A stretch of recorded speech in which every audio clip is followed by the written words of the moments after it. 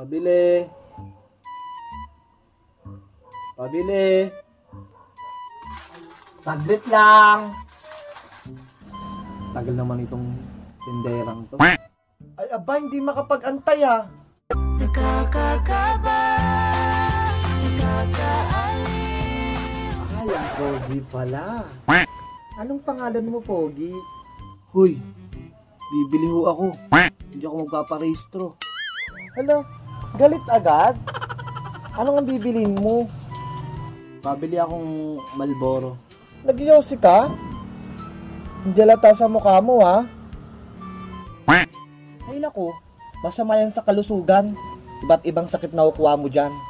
Alam mo ba, maraming namamatay araw-araw dahil dyan sa kakasigarilyo. Isang stick na yosi, walong minuto, nababawas sa buhay mo. Paano kung mamamatay ka ng maaga, iiwan mo ko, ganon. Sino lang magmamahal sa akin? Mawawala na ako ng kayakap gabi-gabi. Sino na lang magsusustento sa mga anak natin? E di wala na akong kasamang tumanda. Dami mo namang sinasabi. Ay, akala ko kasi nandiligaw ka na. Advance ka naman mag-isip. Feeling ko, nakatadhana kasi tayong dalawa. Look, bibili lang ako ng Yossi. Ilan ba bibilihin mo? Isang stick lang ng Malboro. Isang stick lang? Oh, eto. Akin na to ha. Sige, bubulsa ko na to. Baka bawiin mo pa. Oo. Sa'yo na yan. Bait mo naman pala. Pati tong cellphone. Akin na to. Bait mo naman. Abusado ko naman. I-type mo lang pangalan mo para friend tayo sa Facebook. Ganun ba?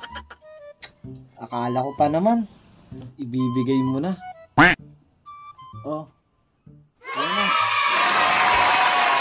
Rambo pangalan mo? Oo. Ako si Rambo. Gago! Nakakilig naman yung pangalan mo, Rambo. Ang lakas ng dating. Parang magaling mang rat-rat. Ha! Sinabi mo pa. O sige, dito na ako. Salamat dito ha. O sige. Ingat ka. Balik ka.